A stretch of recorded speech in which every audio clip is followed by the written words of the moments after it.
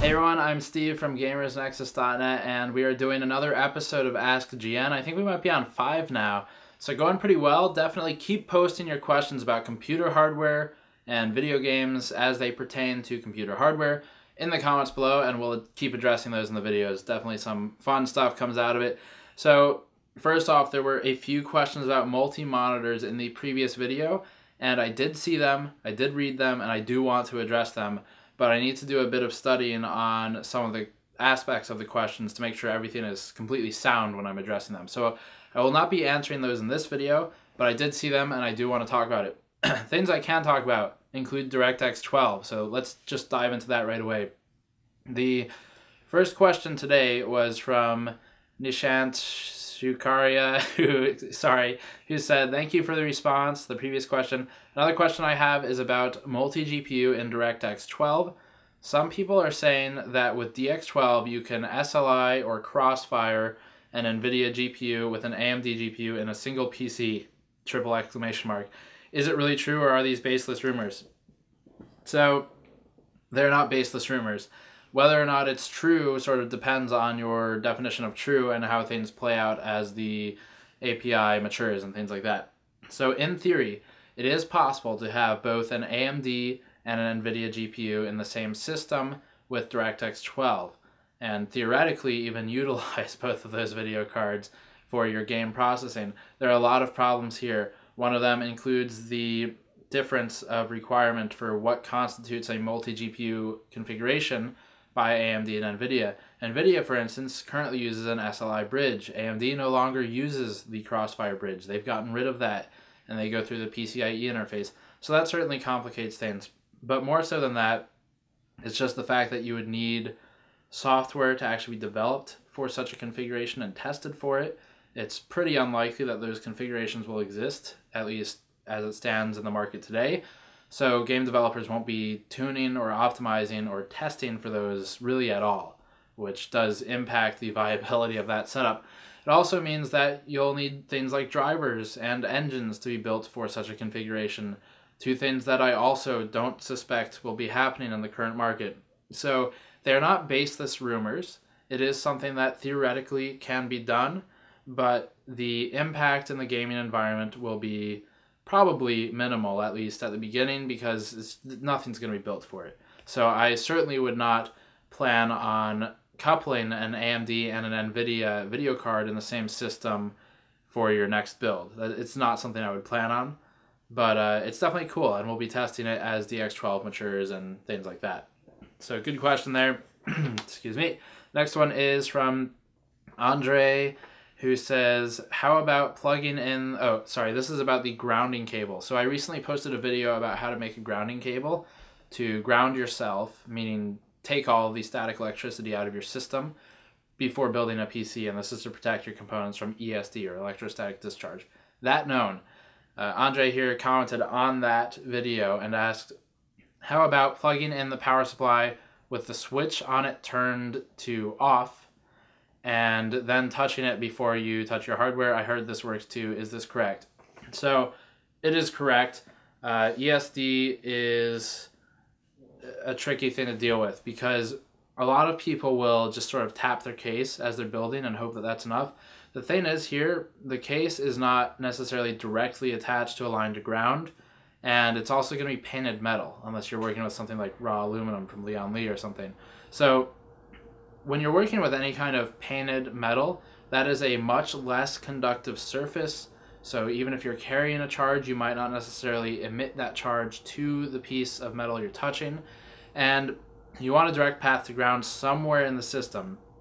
With the grounding cable that I show you how to make in the video, you are plugging into the third prong in US outlets. It's different in other countries.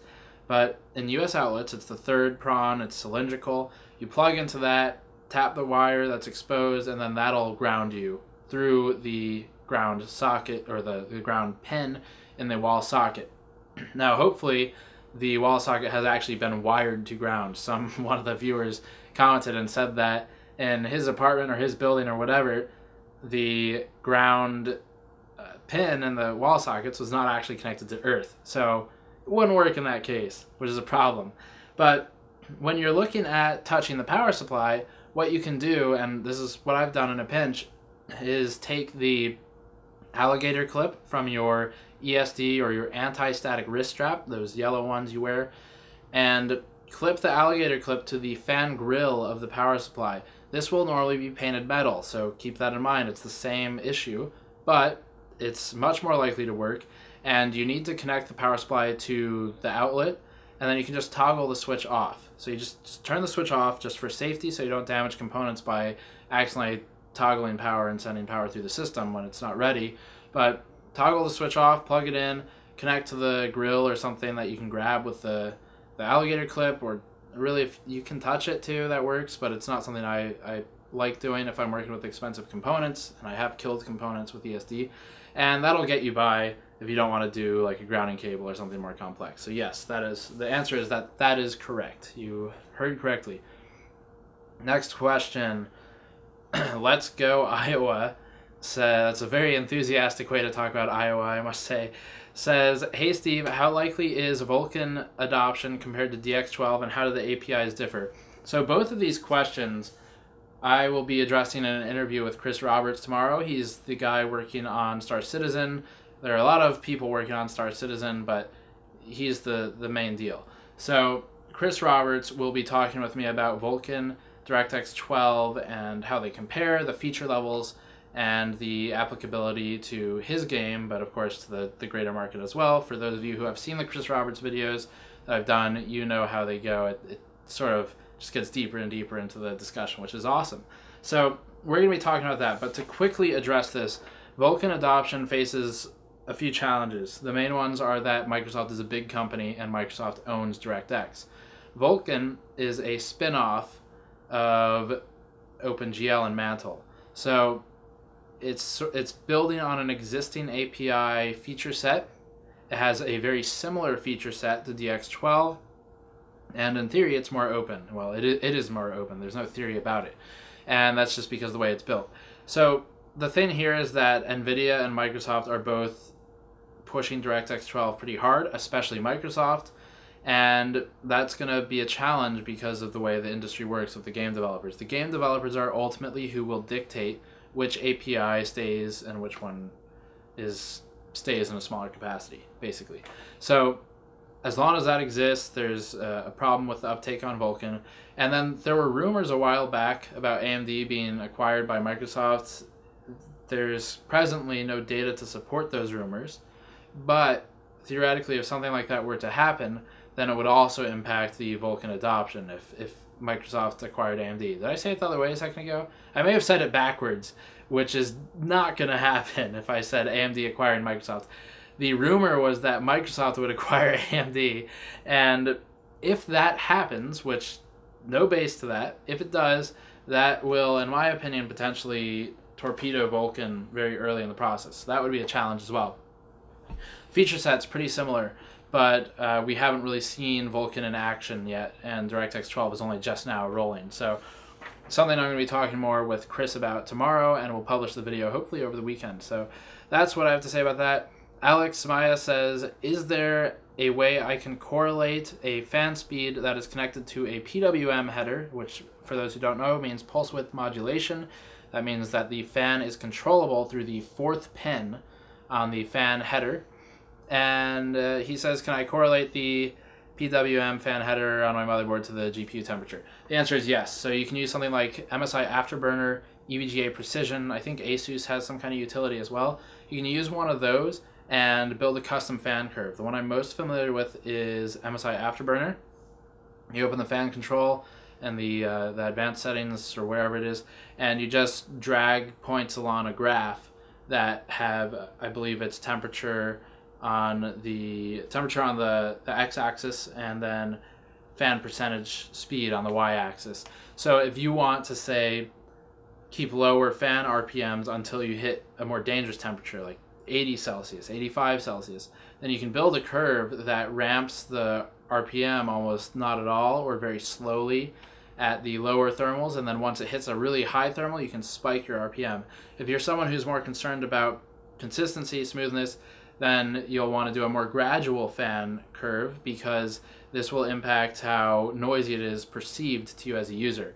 So although a higher RPM will certainly be very loud, the annoying thing to a lot of people who demand silence in a PC is actually the uh, the difference between the time the, the fan moves from one RPM to the next. So in that case, you'll want to build a smoother fan curve, that way it more gradually increments, and you are less likely to suddenly notice something in your ear as you're trying to play a game. Uh, but yes, you can control that, and you should set a custom fan curve because it's it's pretty cool and it's a useful thing to do. Uh, the Del the Delgadicone, sorry, says, uh, ask GN, is there a shadow play equivalent on the AMD side? If not, is there any low performance hit screen recorders? Uh, yes, there is an AMD equivalent, and it is called GVR. It is made by Raptr. Raptr hired the Radeon Pro guy to help work on it, and GVR is something we've tested. You can search the channel for shadow play or GVR or Fraps. If you search any of those three things, you'll find the video I did and GVR has improved a bit since then, but it is a much lower impact than something like Fraps, which just eats CPU. It really doesn't do anything with GPU parallelization, which is a big problem for Fraps. So GVR is more similar to Shadowplay. GVR is also compatible with NVIDIA devices. I, there's no real reason you would use it over Shadowplay, especially because the performance delta is a little bit worse when using GVR, but it's possible. And uh, I, I, guess there's a real reason to use it. The real reason would be if you don't have a device that supports shadow play, but you have an NVIDIA device, like something that's not on Kepler or Maxwell, something maybe Fermi, for example, a 400 series video card. So that's how that works. Uh, GVR, I can't remember off the top of my head how big the impact was, but that video will tell you. And I know that shadow play had an impact of between 2 and 4% to your FPS. So it eats about 2 to 4% to do that in code, and that's because it goes onto a separate H.264 encoder on the GPU die on the chip. Uh, GPU, or GVR rather, does a similar thing. It uses AMD's on-chip encoder, so very similar technology, similarly low impact, but it did have a bit more impact in some places than others where, where NVIDIA was more consistent. But it's, it's something I would recommend if you want to do screen capture without using fraps.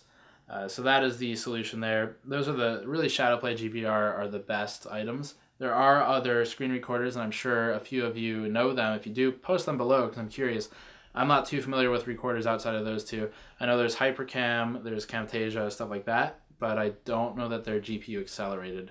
And I know Hypercam is not great for game capture. So that's where my knowledge is on that. Check back soon for the Chris Roberts interview, all the other stuff. This video might actually go up after I interview him. Interview's on Friday this week, so this video might go up like a day uh, after that. But either way, check back for it. Check back for all the other stuff. And thank you to the now 15 patrons we have on Patreon. It is a huge help to see you guys supporting the content directly like that.